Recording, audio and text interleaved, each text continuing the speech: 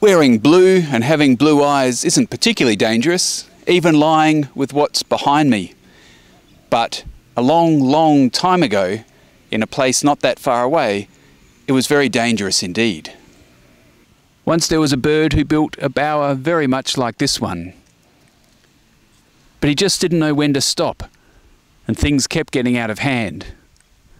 Luckily for us, eventually, he pulled back from the edge, which is why the sky is still blue. This is his story.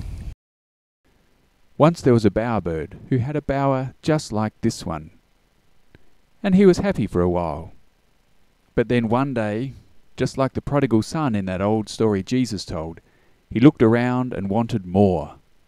More, he said to himself, which in bowerbird sounds like this. Everywhere he looked, he wanted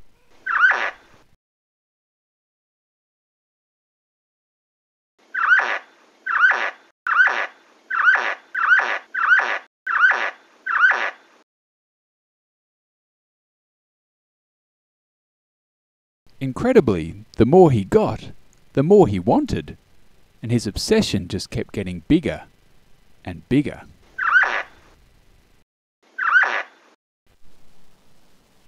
And bigger still.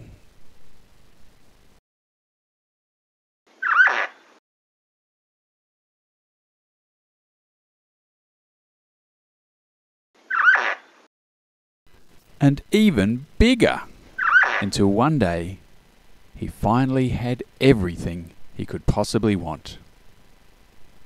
Until, of course, he looked up. What happened next? Well, we only have to look up into the sky, or out on the street, or maybe even on our clothesline, to realize that eventually he came to his senses, just like the prodigal son. Well, the bowerbird was finally satisfied with enough, and the world was saved. How well are we doing with that as humans? I'll ask you about yourself in a minute, but behind me you can see a 4x4 metre mud brick hut. There's a deck that comes off the side of the hut, and on the other end of the deck there's a 4x11 metre shed. It's on the block of land that my family owns. My wife and two boys and I are thinking about whether that's enough for us. Could we move out here and live in that small space? It's about a quarter of what we're used to. Not just on a beautiful day like today, but when it's pouring with rain. How much is reasonably enough for a family of four in Australia? Well, if I'm back for the season of creation next year, I'll let you know what we discovered. But I'd like you to talk amongst yourselves. Think about all the things in your house, all the things you have, all the things you'd like to get. How are you doing with that challenge that confronted the bowerbird?